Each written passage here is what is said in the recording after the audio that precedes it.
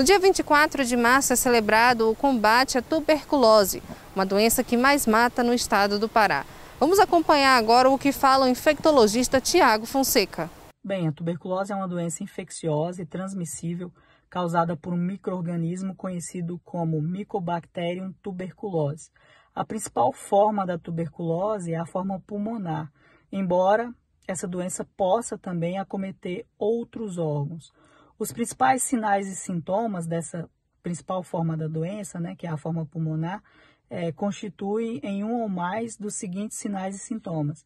Uma tosse seca ou com produção de catarro que dure mais do que duas, três semanas, né, um emagrecimento, uma febre, principalmente uma febre que ocorre no período da tarde, é, uma sudorese ou suadeira que ocorre no período da noite, a falta de apetite e um mal-estar geral.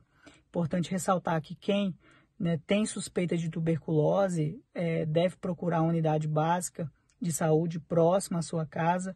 É, e se o médico realmente, né, após uma avaliação inicial, mantiver essa suspeita de tuberculose, ele irá solicitar os exames que poderão confirmar a doença. Né? Lembramos que a tuberculose é uma doença que tem tratamento, tem cura. Esse tratamento ele é gratuito, está disponível na rede SUS é, por todo o país. E também o tratamento é importante para quebrar a cadeia de transmissão da tuberculose na comunidade.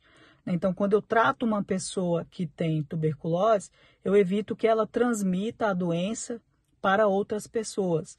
Né? Outras formas de, de prevenção dessa doença seria manter os ambientes bem arejados, ventilados, né, se possível, né, é, iluminados com os raios solares, porque já, já se sabe que os raios ultravioletas eles são capazes de inativar né, ou matar é, o microorganismo que causa tuberculose, diminuindo dessa forma o risco de pessoas que estão naquele ambiente ali, que tem esse microorganismo que causa a tuberculose, de contrair essa doença, né?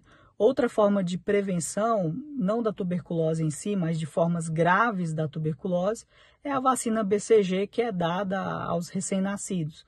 Né? Então, essa vacina é capaz de prevenir, principalmente em crianças, as formas graves da tuberculose, né? que seria a tuberculose miliar, que é uma forma de tuberculose disseminada, vários órgãos do, do organismo da pessoa acometida é, estão doentes pela tuberculose e também a tuberculose meníngea, né, que é quando a tuberculose ela ocorre nas meninges do cérebro. Importante ressaltar que quem né, tem suspeita de tuberculose é, deve procurar a unidade básica de saúde próxima à sua casa.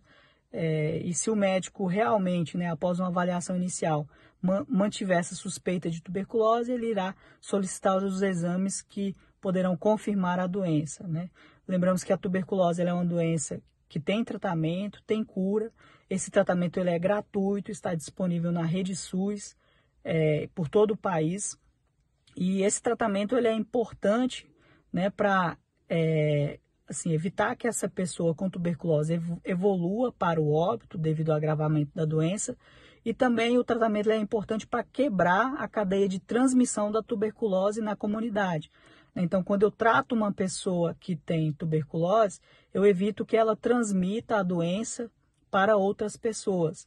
Né? Outras formas de, de prevenção dessa doença seria manter os ambientes bem arejados, ventilados, né? se possível, né? É, iluminados com os raios solares, porque já, já se sabe que os raios ultravioletas eles são capazes de inativar né? ou matar é, o microorganismo que causa tuberculose, diminuindo dessa forma o risco de pessoas que estão naquele ambiente ali, que tem esse microorganismo que causa tuberculose, de contrair essa doença.